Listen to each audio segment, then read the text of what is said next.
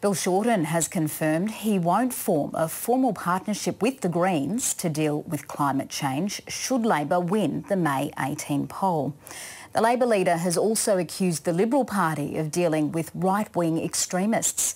Our political reporter Henry Belot is travelling with the opposition leader.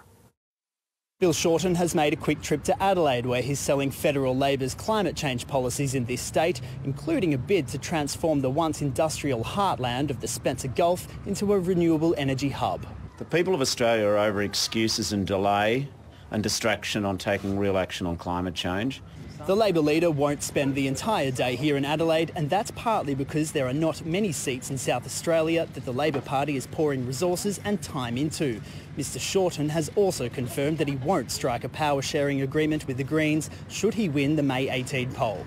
Well, I see that the Greens are sort of trailing their coat and say, look at me. The fact of the matter is that if we get elected, we'll be making decisions in a Labor cabinet and the decisions will be made by members, members of Parliament of the Labor Party. Bill Shorten has welcomed the Victorian Liberal Party's decision to disendorse its candidate for Isaacs, Jeremy Hearn, who said Muslim people were not of good character, suggesting the government should stop funding Islamic schools. Goodness me, when will we finally admit what everyone actually knows? the Liberal Party is riddled with right-wing extremists. But Mr Shorten didn't see any similarities between Mr Hearn's comments and those made by Labor Party's former Senate candidate in the Northern Territory, Wayne Kurnorth, who quit after sharing anti-Semitic views. There's a world of difference here. First of all, uh, this fellow, who I haven't met, who was uh, in the Northern Territory Senate ticket, uh, I don't think that what he did anyone's contrasting with the complete Islamophobia of the Liberals, but nonetheless, not appropriate, gone.